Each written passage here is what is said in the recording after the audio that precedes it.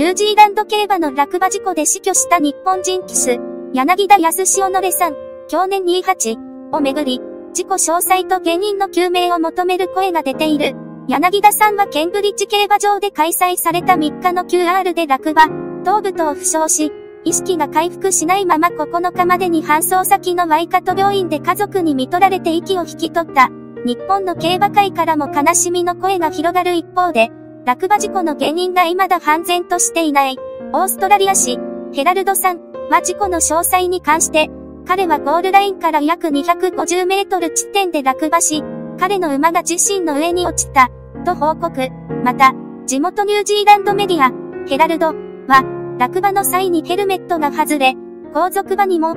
踏まれた、一瞬の出来事で避けることができなかった、と伝えている、統括団体に質問。これら一連の報道を踏まえ、東スポ競馬ウェブでは統括団体である、ニュージーランド、サラブレッドレーシング、NGSR、へ質問状を送付、自己調査は進んでいるか、と問うと、いずれ完全な調査が行われることは間違いないが、現時点では待機の供養と家族のニーズにフォーカスしている、と回答した。さらにレース後に行った調査で、柳田騎手はゴールから約250メートルで落馬、後続馬のナントケットが大きな不利を受け、ダイアン、エリオット騎手も落馬、という事実を確認していることを説明した。現在、公式サイトの当該レース映像は非公開、NGS、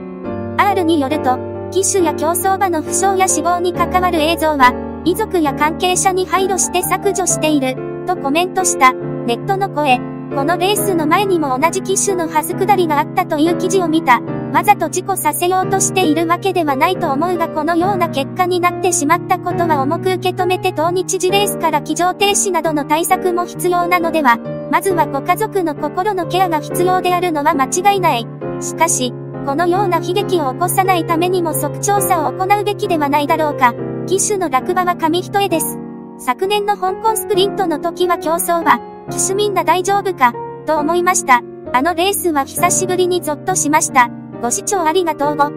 ざいました。高評価、チャンネル登録もお願いいたします。梅南港